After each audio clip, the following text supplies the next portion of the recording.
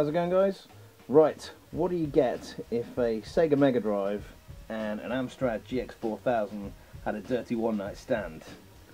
I give you the Amstrad Mega PC. So uh, this baby came out in 1993 and if you've never seen one before it's basically uh, a splice of a 386 PC uh, mixed with a Sega Mega Drive uh, at the same time. This was an officially licensed product by Sega um, and uh, said I'd never actually seen one uh, till the other day when I actually picked this up. Um, I said I've laughed at them before in the past um, but I actually took the plunge and I was like no I'm going to get one of these so I said one came up uh, locally, and said I got uh, got it at a pretty damn good price. and to be honest, I'm actually really really happy with it. So let's have a quick look. So over to the business side of things, we've got the uh, Amstrad side, which is your uh, uh, floppy disk drive or disk drive as such, and then you've got your uh, sort of little light displays there for power, turbo in the middle there, and your hard drive as well. And then you've got this um, cover on the front there for the Sega Mega Drive compatibleness. Uh, you flip that over and this gives you your Mega Drive side. So at the top there we've got the, uh, the cartridge port, then we've got controller ports 1 and 2, a reset button, and we've also got the volume control there on the front as well. So this comes with uh, two different controllers. So you've got the, uh, the classic Amstrad controller there, um, real uh, wonderful piece of kit I'm sure to play with.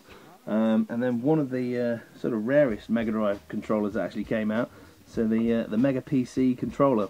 Um, as I said, it's a sort of a, a luscious beige colour, or um, kind of like an imported um, uh, white Sega Saturn from Japan uh, when uh, when it's been in a smoky environment and it's slightly discoloured.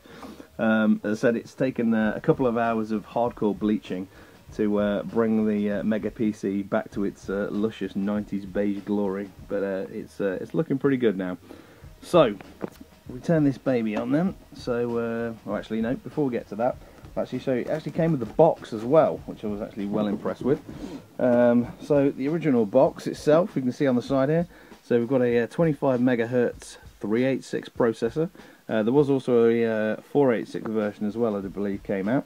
Uh, it's got a, a, whole one megabyte of uh, RAM there, and uh, a uh, an absolutely astonishing 40 meg hard drive there, so you can store at least two MP3s on the uh, Mega PC. And it's also got VGA graphics, and included in the box there, PC sound card, joystick, paddle, and mouse. Can actually get the uh, Mega PC then. Um, and inside here, I said it has all the polystyrene inlays as well. So it's in pretty good nick, to be honest. Um, I said I'm uh, really, really happy with it. So we'll turn it on. We'll flip it into PC mode. No, sorry, that way first. Turn it on at the back.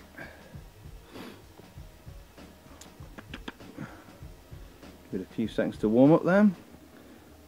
So, as I don't actually have any games or anything effectively from the PC side of things, uh, I do believe it's got, uh, I think, Windows 3.1 loaded on there as well, um, which is fairly useless.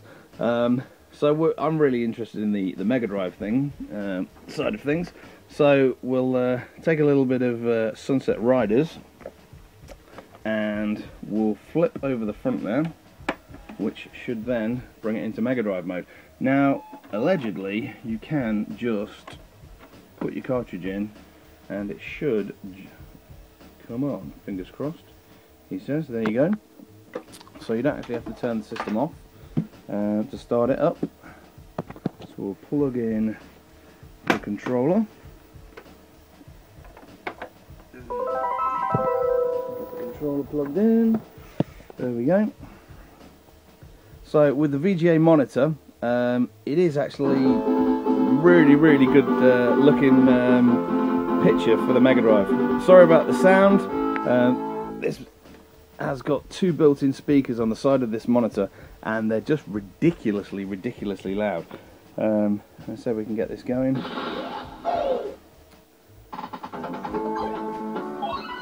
try and play one-handed really really badly to uh, you but effectively it is just uh, just a Mega Drive um, I said really really good version you know really good uh, picture on this thing and uh, to be honest yeah, I'm I'm really, really happy with it. So I said, if you ever see a, a Mega PC out at a car boot sale or somewhere, I can well recommend picking one up. And if you've never had to go on Sunset Riders before, definitely pick that up because it's an absolutely fantastic game. Alright guys, so uh, I hope you've enjoyed a uh, quick look today at the uh, classically 90s beige Amstrad Mega PC. Okay, I'll catch you soon guys with some more reviews. Take it easy. That's it, man. Game over, man. It's game over.